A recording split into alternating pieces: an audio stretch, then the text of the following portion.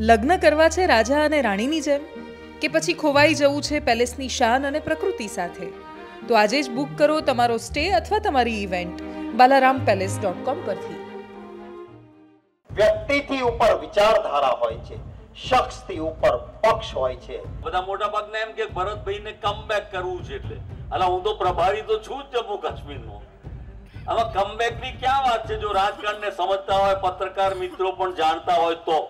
કોંગ્રેસે ગઈકાલે જન યોદ્ધા દિન બનાવ્યો, એટલે જન યોદ્ધા દિવસ કોના માટે હતો? તો ભરતસિંહ સોલંકી જે કોંગ્રેસના પૂર્વ પ્રમુખ રહી ચૂક્યા છે અને દિગ્ગજ નેતાઓમાં જેનું નામ આવે છે, એમનો કાલે જન્મદિવસ હતો.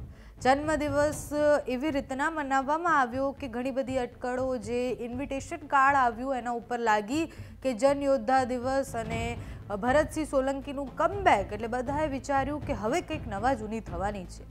ગઈકાલે કાર્યક્રમ પૂરો થઈ ગયો છે અને કાર્યક્રમમાં શું થયું, શું નવા જૂની થવાની છે એની આજે વાત કરવી છે. નમસ્કાર, આપની સાથે હું પાયલ રાઠોડ.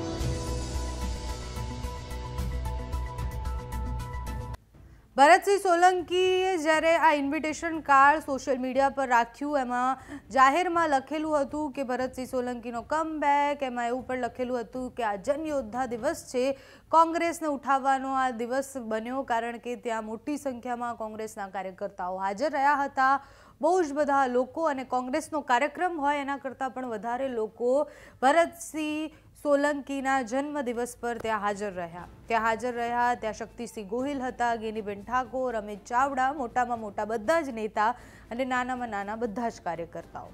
કાર્યક્રમ પહેલાં બધી અટકણો લાગી રહી હતી કે શક્તિસિંહ ગોહિલની હાજરીમાં ભરતભાઈ શું કહેશે? ભરતસિંહ સોલંકી કઈ નવી જાહેરાત કરવાના છે?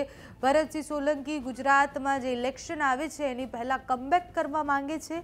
આ બધા જ પ્રશ્નાચિહ્નો પર કાલે એમને પૂર્ણ વિરામ લગાવી દીધો. ભરતસિંહ સોલંકીએ જ્યારે પોતાની સ્પીચ આપી ત્યારે કહ્યું કે મને કોંગ્રેસે ઘણું આપ્યું છે.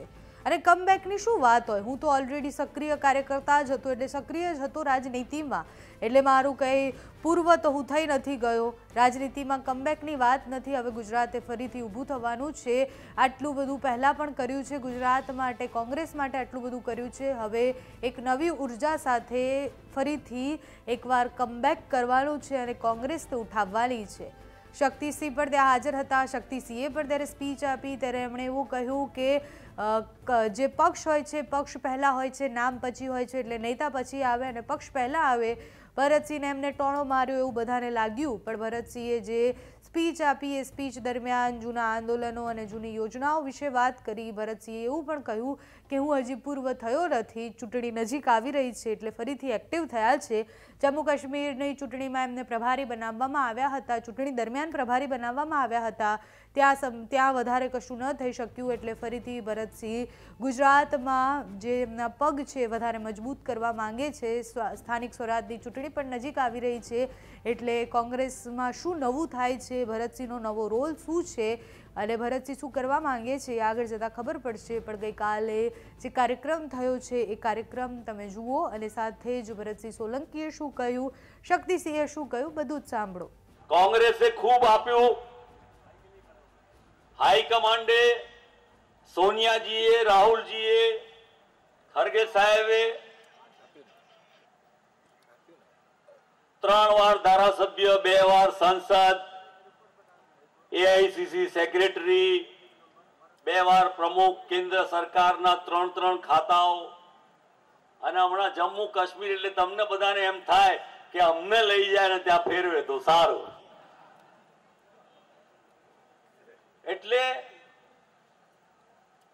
ઘણી વાર તમને બધાને, ઘણા બધાને એમ થાય ખાસ કરીને પત્રકાર મિત્રોને બહુ થાય. શું કામ બોલાયા?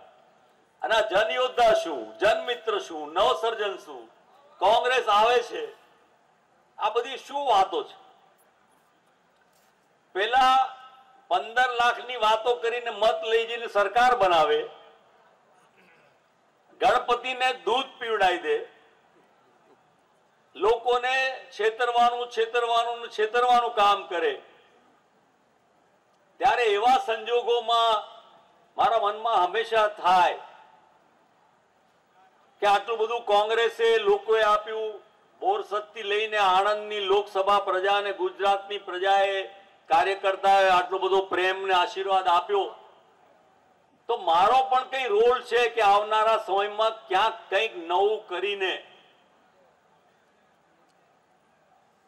જેમ જનમિત્ર શરૂ કર્યું ત્યારે અઘરું લાગતું હતું. સાથી, મિત્ર ને ભાઈ, નેતા નહીં.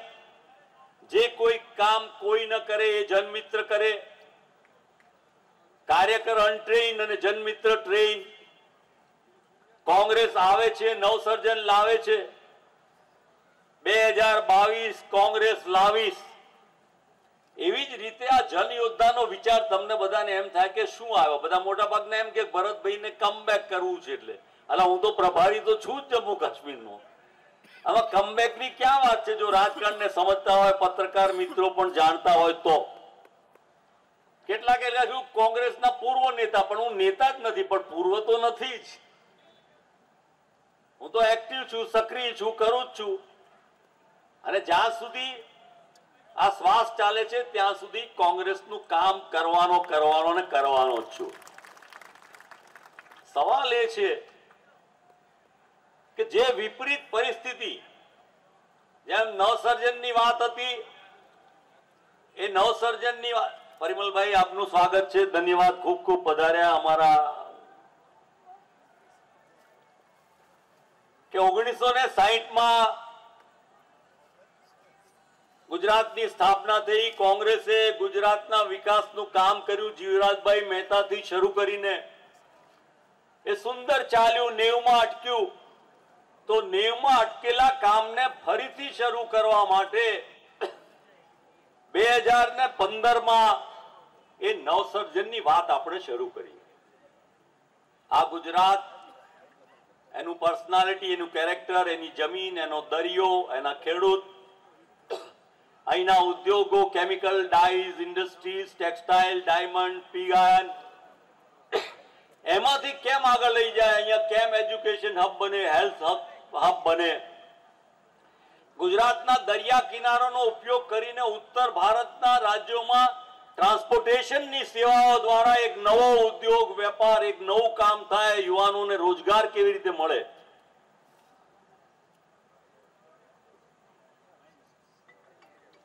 ગુજરાતના સાહસિકોમાં પરિમલભાઈ જેવા સાહસિકો જેને વેપાર ધંધાને જેમ ખીલવ્યો હોય, અને એટલા માટે નવ ગુજરાત, નવસર્જનનું ગુજરાત એ વાત બે હજાર સત્તરમાં આપણે કરી તો આ જનયોદ્ધો કેમ? હવે મુશ્કેલીમાં છીએ, સત્તર જ ચૂંટાયા, એમાંથી અત્યારે બાર રહી ગયા, પણ બારમાંથી એકસો બે કરવી હોય, તો સાદા કાર્યકરથી નહીં થાય જન યોદ્ધાથી જ થશે. ભરતભાઈને શુભકામનાઓ. સૌ કોંગ્રેસ પરિવારના સભ્યોને કહેવા માંગુ છું કે વ્યક્તિથી ઉપર વિચારધારા હોય છે. વ્યક્તિથી ઉપર વિચારધારા હોય છે. શખ્સથી ઉપર પક્ષ હોય છે. આ હંમેશા આપણા સૌનો ભાવ રહ્યો છે.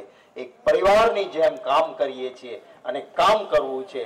સત્તા પડાવી લેવા માટે સંઘર્ષ નથી કરવો. સેવાની સાધના માટેનો યજ્ઞ કરવો છે. અને એમાં ગુજરાતીઓના આશીર્વાદ મળે અને એક સમય આવે તો.